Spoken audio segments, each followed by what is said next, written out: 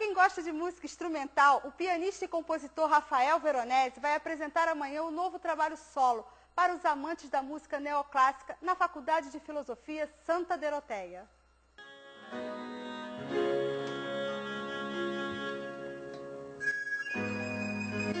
A música Caravana dá nome ao segundo CD de Rafael Veronese, coletânea que o pianista e compositor friburguense criou a partir de uma viagem imaginária ao mundo árabe. Eu fiz imaginando eu numa caravana, né? Que a CD surgiu do, dessa música, essa música que partiu o projeto Caravana, que eu me imaginava numa viagem no deserto, né?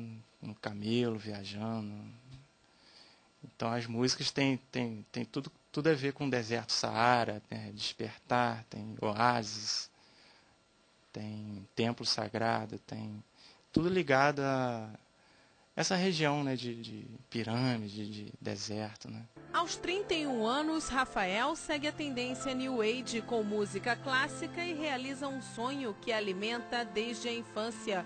Influenciado pelo pai, entrou para o mundo da música aos 5 anos e nunca mais saiu. É, meu pai sempre estudou piano, né? E eu sempre eu sempre estava perto dele, vendo ele tocar e me apaixonei, né, pela, pela música. Antes da carreira solo, Rafael tocou em bandas que fizeram sucesso em Nova Friburgo.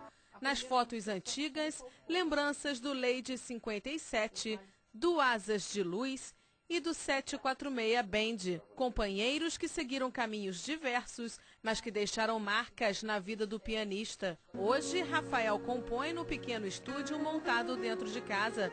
A inspiração ele busca na natureza.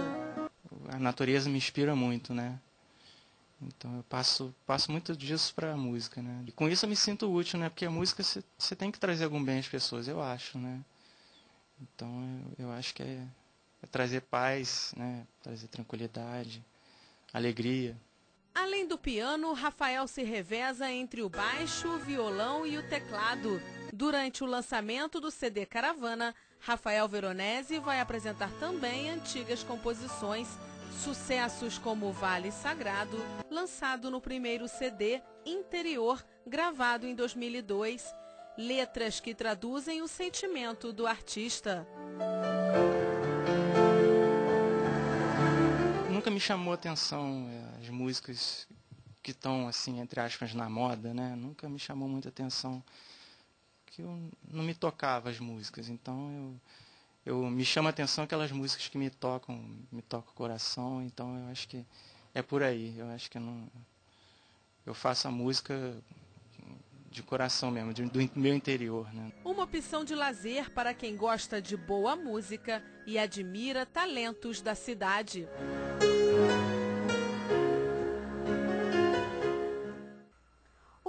Pianista vai ser acompanhado do saxofonista Rodrigo Costa e do violonista Felipe Veronese. A apresentação está marcada para as 8 horas da noite.